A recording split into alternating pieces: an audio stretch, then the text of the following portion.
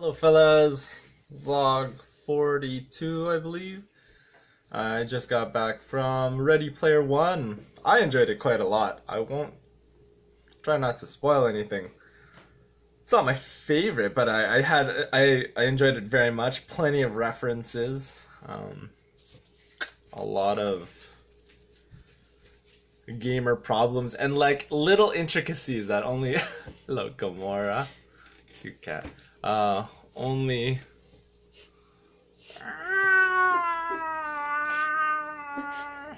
this is cat. That's funny.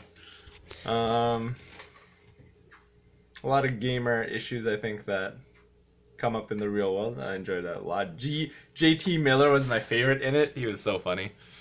Um, bad guy could have been better i think all great movies require a very good almost justified bad guy to an extent mm, yeah i won't spoil too much besides that I miss Luke's party today. I feel bad because nothing reminded me that was happening, and I bought the tickets for the movie in the morning, and I didn't want to waste that. Combined with it's like our only chance for Natasha and I to go see the movie. Um,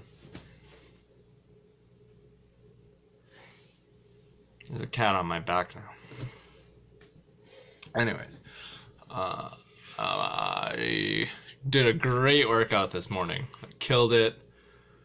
Uh, then I went to I, I made break or yeah made good breakfast. I streamed for four hours.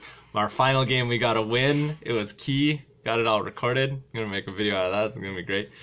Uh, lastly, and then I made some dinner, steak, salmon, and the good stuff. And I was passing out had to take a nap because I knew I wanted to watch this movie. Now I'm kind of awake, but I don't think Luke is going to message me back. He's probably too inebriated at this point. That's all good.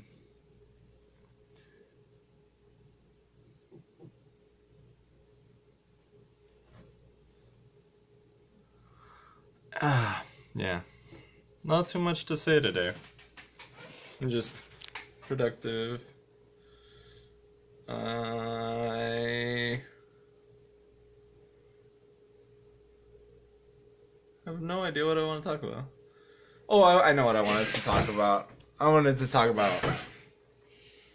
I kind of wanted to just release my fears again, as I always do. Or I think it helped the last time I said them, and this time, like lately, I've sort of been getting in my head, you know, to be doubtful. It's scary as all of this, all of my stuff is coming up. Like we've been doing so well and I've been so on track and I just got to keep going but like you know fear creeps up on you and you got to deal with it every single time it comes up and it's just it's scary, you know? Just trying to live your dream when it's easy to doubt. Like what's the point of it? Like is it the right thing to do? it's obviously like I've tried many things and I've hated it and I can't live in a world that I hate, so I do have to at least try and go for it. But it's like the fear creeps up on you like, what are you doing with yourself?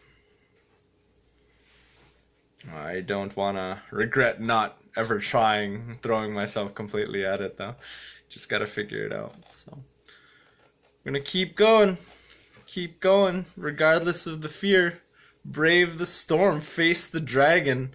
The big big giant metaphorical dragon that is your own fear that's holding you back that's keeping you from the treasure that could be everything that you want and you just want to chase after it or you want to defeat that fearful dragon so you can receive the treasure that is the dreams that dreams that you chase after but that's everyday work that's the diligence of the the grind not just this one glorious battle that's not real life another point inside the movie. Not something I learned from the movie, but just something I was saying out loud. All right, everyone, have a nice night. Mm, sweet dreams. Uh, take care of your health, your heart, your mind. Uh, belief in yourself, perseverance. I love you all. Boop.